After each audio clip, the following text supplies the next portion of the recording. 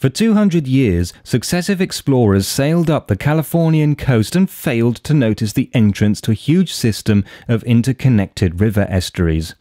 Then, in 1769, Gaspar de Portola looked for a land route to Monterey Bay, but didn't recognize it in the fog and marched right past, ending up at what would eventually become the San Francisco Bay.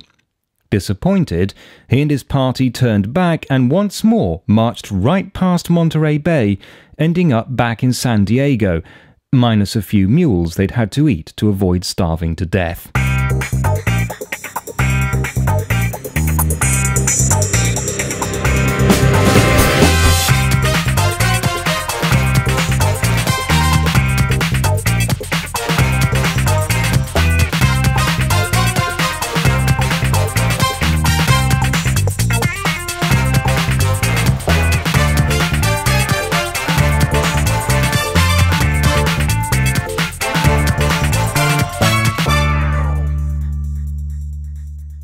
San Francisco itself was founded seven years later with the establishment of a presidio, a military fort, and the Mission of St. Francis of Assisi, also known as Mission Dolores, in what is now the Mission District.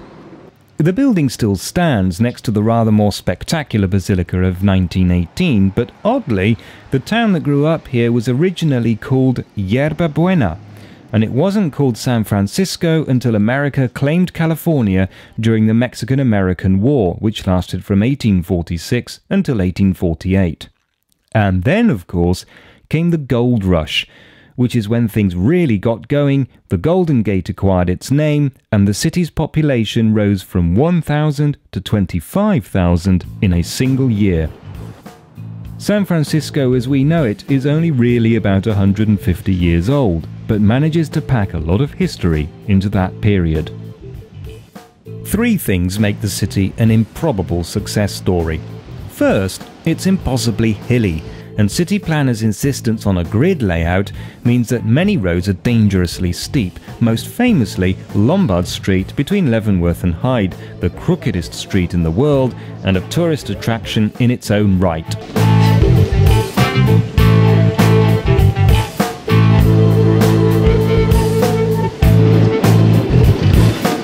San Francisco's famous cable cars were invented out of necessity.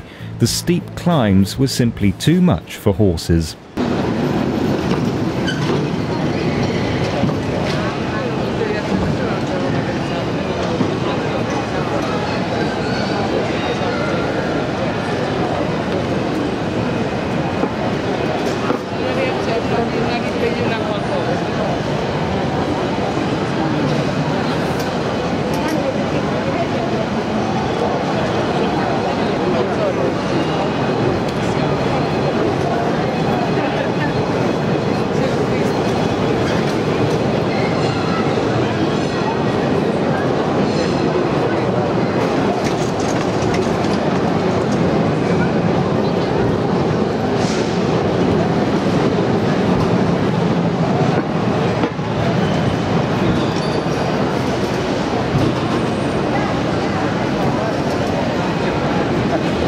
Second, it's often chilly and foggy.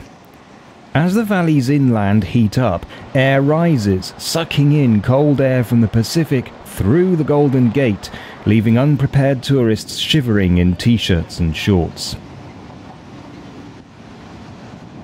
Third, it's uncomfortably close to the San Andreas Fault, and earthquakes are a major hazard.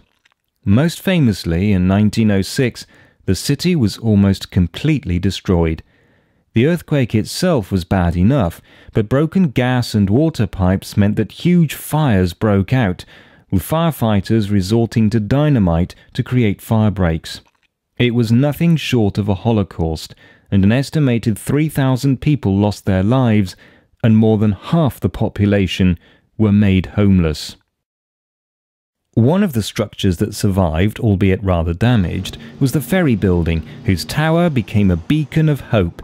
If the ferry terminal was still operational, at least there was still an escape route.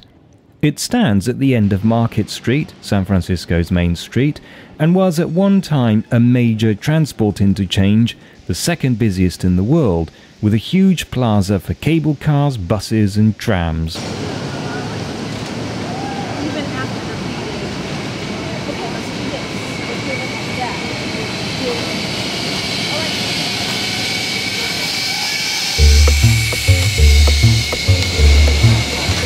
With road bridges and a light rail tunnel spanning the bay, ferries are no longer so important, but the piers along the Embarcadero remain popular with tourists.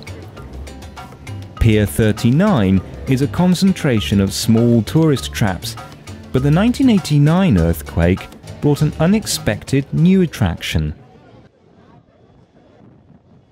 Nobody knows exactly why, after the quake, sea lions started coming here to bask, but they seem perfectly happy to do so. They are safe from sharks here, but nobody quite knows why that should be either.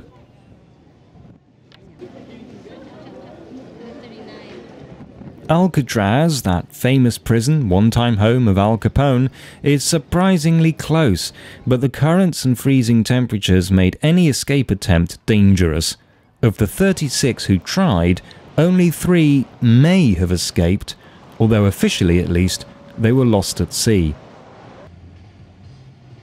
Crissy Field, now a park, came into being as an airfield in the early days of aviation and saw many pioneering milestones, including the birth of airmail. Of course, the best known landmark of the city is the Golden Gate Bridge. Officially, it was designed by Joseph B. Strauss, but in fact, he didn't actually know the first thing about building suspension bridges, so credit should really go to Leon Moisseiff, Irving Morrow, and Charles Ellis. The bridge is painted in a colour called International Orange, as opposed to the more usual silver or grey. Incredibly, this was opposed by the US Navy, who, worried about the danger of ships crashing into it, wanted it to be painted in yellow and black stripes. The bridge had to be built over Fort Point, originally constructed by the Spanish and taken over by the US military is strategically important. In the event, nothing ever happened for the fort to defend against, and it is now a historical curiosity. In 1915, the Panama Pacific International Exposition celebrated the rebirth of the city after the events of 1906 the opening of the Panama Canal, and the 400th anniversary of the discovery of the Pacific Ocean. Exhibits included the actual Liberty Bell, the first steam locomotive purchased by the Southern Pacific Railroad, and a telephone line enabling New Yorkers to hear the sound of the Pacific. The buildings were designed to be temporary and most were dismantled except the Palace of Fine Arts, which was left to decay on the grounds that every great city needs a ruin. It was, however, reconstructed in the 1960s and now houses the Exploratorium, a science museum. Pacific Heights is an upmarket area with a fine collection of turn of the century architecture.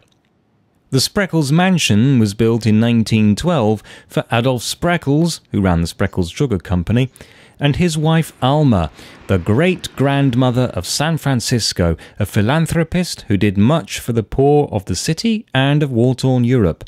They met, incidentally, when she was posing for the Dewey Monument in Union Square.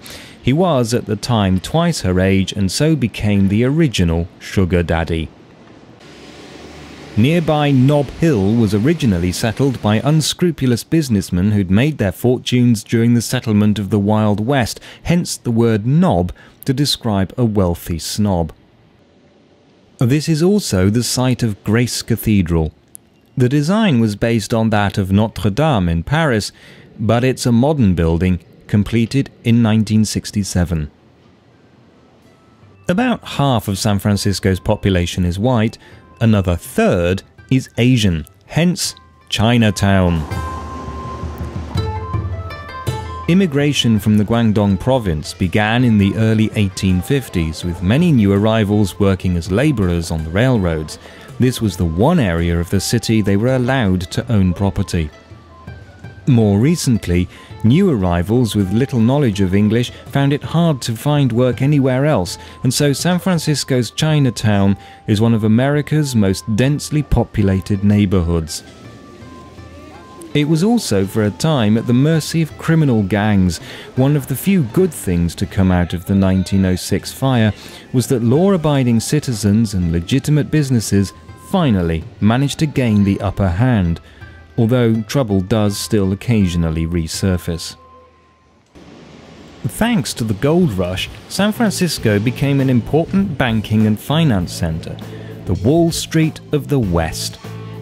It's home to about 30 international financial institutions, and of course, all this requires a huge support infrastructure, meaning jobs for lawyers, PR companies, architects, and so on.